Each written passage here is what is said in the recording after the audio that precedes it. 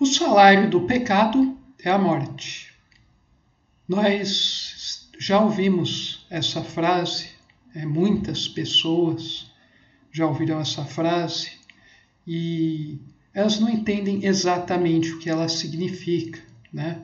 Para começar, porque é, muitos veem pecado de forma errônea, equivocada, o que é de fato pecado, e as pessoas também compreendem termo morte num sentido superficial e orgânico.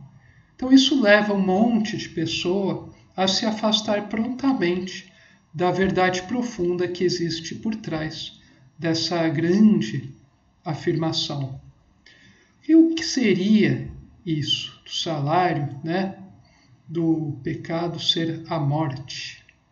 Bom, a gente pode começar vendo um pouquinho em, em um pouco mais de profundidade o significado da morte. Né? Existem mortes de vários tipos. Mas a morte é sempre igual se a gente for ver do ponto de vista do organismo físico. Né? Nosso corpo mais baixo, ele vai morrer sempre. Né? A gente nasce, né? renasce e morre. Né? É um caminho natural. Não existe nada de pavoroso, não existe nada de terrível na morte orgânica. Né? Isso, inclusive, é um mecanismo né, que possibilita a evolução do ser através dessa ciclicidade de várias existências. O que é matéria, né, tudo o que é num nível evolutivo mais baixo, ele tende a se desagregar ao longo do tempo. A gente pode até melhorar né, é, interiormente, né, e consequentemente métodos para fazer com que o organismo dure mais tempo e com mais saúde, mas existem limites também para isso. Então a morte é algo natural que vem e deve ser e vai ser tão melhor aceita quanto mais plena a vida da pessoa que está chegando ao fim dela. Então, é, a pessoa, as pessoas, né, elas não vivem a vida verdadeira e quando chegam os momentos finais elas começam a se desesperar. Né? Muitos não sabem o que fazer e elas acabam cedendo ao desespero. Né? Por isso a morte é tão pavorosa para a imensa maioria da humanidade. As pessoas têm medo de várias coisas, inclusive, né? A morte, a morte social, a morte perante um grupo, né? Ser não fazer parte mais de um grupo é, financeiro, um, de, de uma roda social, e por aí vai. As pessoas ficam presas a um monte de coisas mundanas. Mas todas essas mortes aí, a morte física e também essas mortes sociais, etc., na verdade, são coisas que uma pessoa que já está orientada pelo e para o espírito não não se preocupa mais. Né? Uma pessoa já com certo grau de consciência, ela não, não se importa né, com essas mortes, né, essa diminuição da vida social, com o menosprezo, a ignorância de vários, e mesmo né, tem menos preocupação com as coisas que lhe acontecem ao longo da vida, né, doenças e mesmo a morte final do organismo. Agora, existe um outro tipo de morte que a gente denomina de morte espiritual, que, segundo Balde, né, seria só uma possibilidade hipotética, né? É, todos nós tenderemos a regressar ao sistema, né? tanto os mais adiantados quanto os mais lanternas, né? Os mais lanternas vão sofrer muito mais para isso, mas tendem a voltar.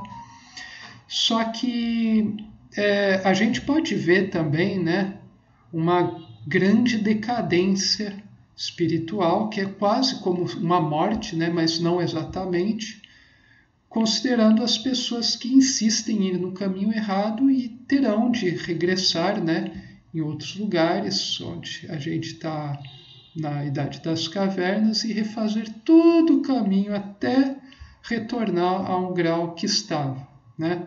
Isso pode ser visto, né, de um ponto de vista humano, como uma morte mais profunda. né? não definitiva, total, mas uma morte, de certa forma, uma semi-morte espiritual, digamos assim.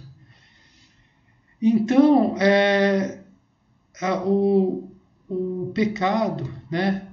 agora indo para o pecado, é sempre, eu definiria da seguinte forma: sempre que você não age de acordo com os princípios universais.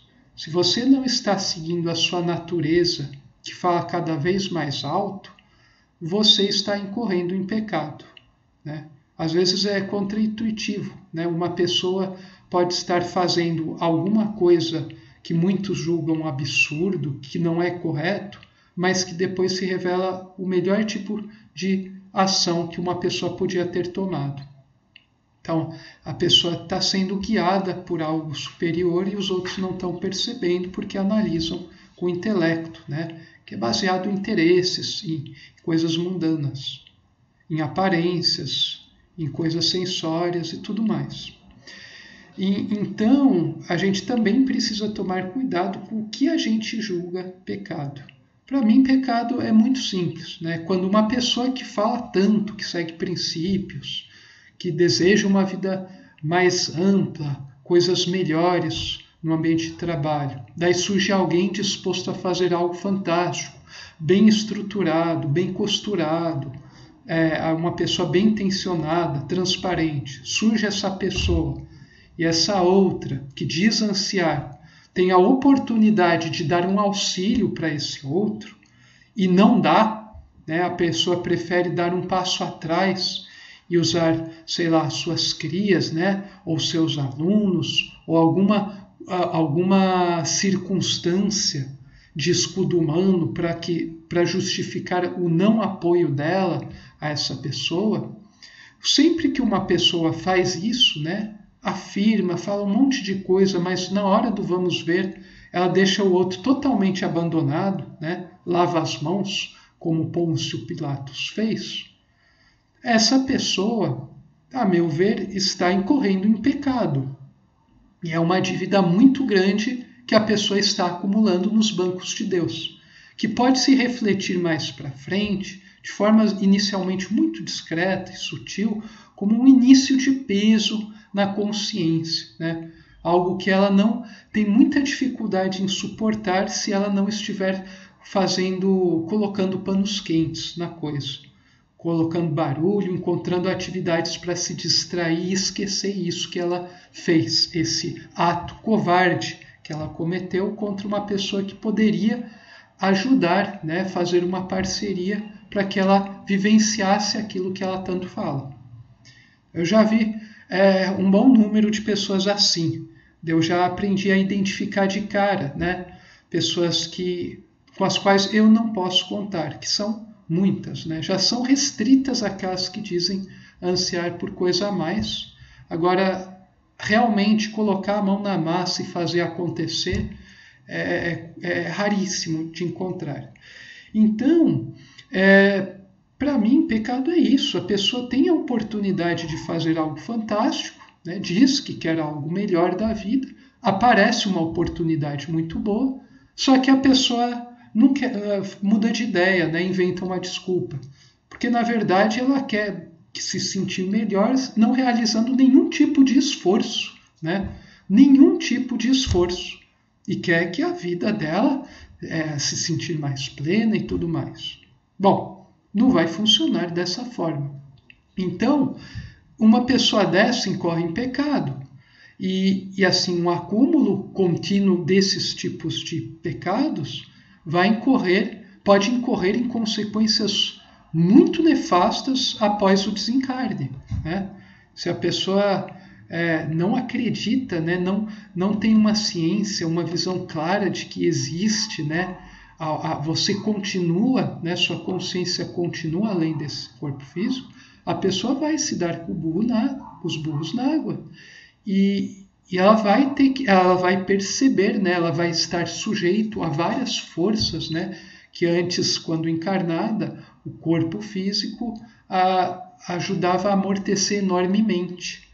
E daí essa pessoa vai começar a ficar desesperada, vai talvez né, no desencarne, depois de passar por um umbral, ela vai ver: nossa, tinha um sujeito lá que apareceu durante minha trajetória. Eu tive a oportunidade de me construir e realizar uma verdadeira relação de alma para alma, e eu neguei de todas as formas isso, né? e me enganei o resto da vida. E agora eu vejo que eu perdi muito tempo e estou muito pior por causa justamente de ter tratado mal essa oportunidade que se encarnou na forma de um ser, né, que conviveu comigo por muito tempo. Então, esse é o arrependimento que vai vir para muitas pessoas após o desenlace. Então, é, eu deixo aqui tudo dito, né, mas infelizmente muitos só vão perceber é, depois de ir pro, entrar para o camisão de madeira. Né? Não é nem depois de aposentar, que depois de aposentar a pessoa ainda vai se ocupar com outras taras mundanas. Né? Alguns talvez reflitam um pouco. Infelizmente é preciso o término né, da existência física, né, orgânica, para as pessoas começarem a se tocar a respeito das coisas. Isso não precisaria ser assim. Isso poderia, as pessoas poderiam é, renascer em vida, morrer e renascer espiritualmente em vida orgânica, encarnada. Isso é a verdadeira ressurreição, que tem várias etapas, claro. Enquanto as pessoas não perceberem isso, as coisas não irão para frente. Né? As coisas não irão para frente. Disso eu tenho certeza absoluta. Essa é a mensagem de hoje. Saudações fraternas a todos vocês.